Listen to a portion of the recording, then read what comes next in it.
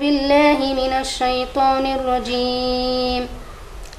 الحمد لله الذي أنزل على عبده الكتاب ولم يجعل له عوجا.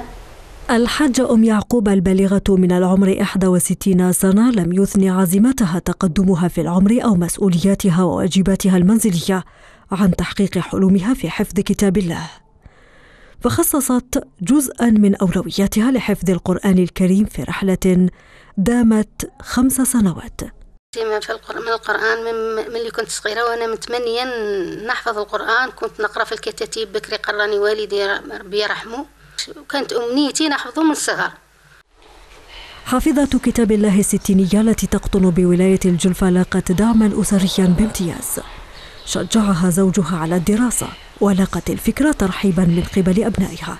فتتلمذت في مدرسة الإمام ورش لتعليم القرآن الكريم بحي بوتريفيس على يد مجموعة من المعلمات المتطوعات.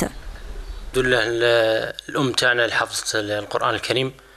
الحمد لله كنا ملي تفتحت المدرسة القرآنية كنا نعاونوا في الأم تاعنا. كانت تقرأ القرآن بحرقة. كانت تقرأ القرآن بكل جوارحها كانت تحس كل آية كانت تدمع عينها عندما لا لا تستطيع أن تحفظ. الذين يعملون الصالحات أن لهم أجرا حسنا.